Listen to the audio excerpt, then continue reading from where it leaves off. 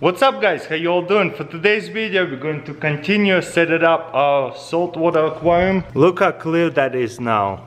So now it's time to add live rocks in there. And I got something pretty cool. It's called anemone. Let me know in comments below what kind exactly is it. Also I'm going to put this bottle inside of my aquarium it multi-purpose, instantly clears aquarium, ideal for maintenance, clean water without chemicals. Cycle new tank, so it's whole bunch of bacteria inside over there and we going to get everything going really nicely and quickly.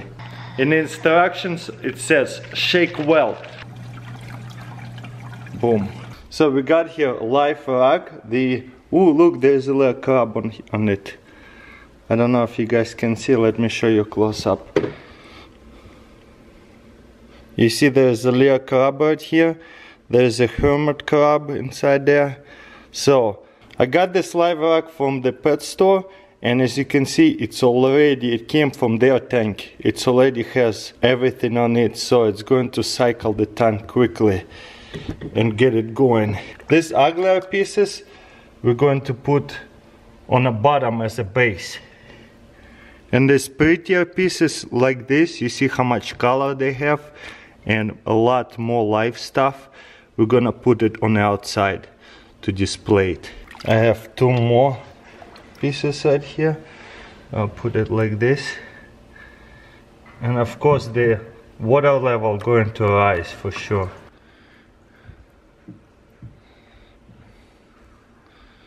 Look at that pretty rock so much color to it. There's already a lot of living organisms on it.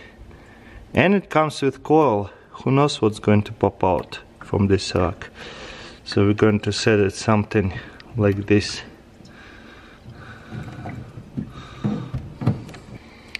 And there's a smaller piece right here too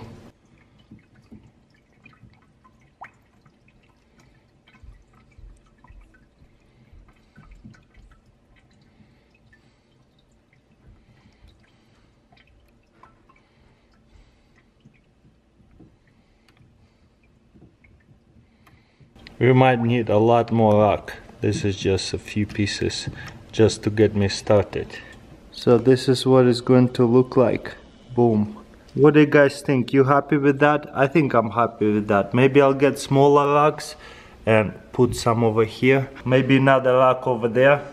If anything, maybe a smaller rocks in there to kind of fill everything in. I know. I'm kind of happy with this so far.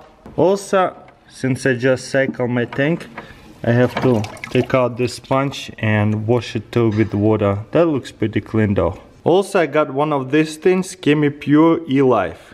All-in-one filter media. So let me show you what to do with this thing. So when you open it it's a little baggy thing. Almost kinda hard to take it out. Be careful don't break it. Take your time taking it out. Boom.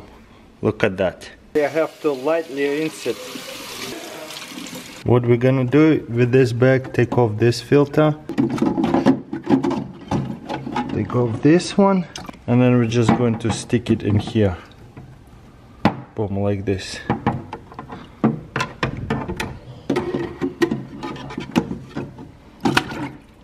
And put it all back in.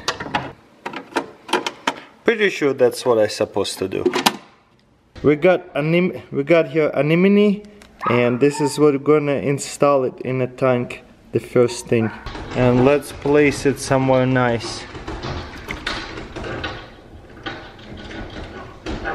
I was thinking somewhere in the back right here. Boom. Okay just have to cycle again. Maybe in 24 hours it's gonna be all clear. I'm doing it for the first time so I stir up a little bit too much. But there is the anemone it's beautiful. Actually, it cleared out really quickly. And look how beautiful this anemone look. From this side as well.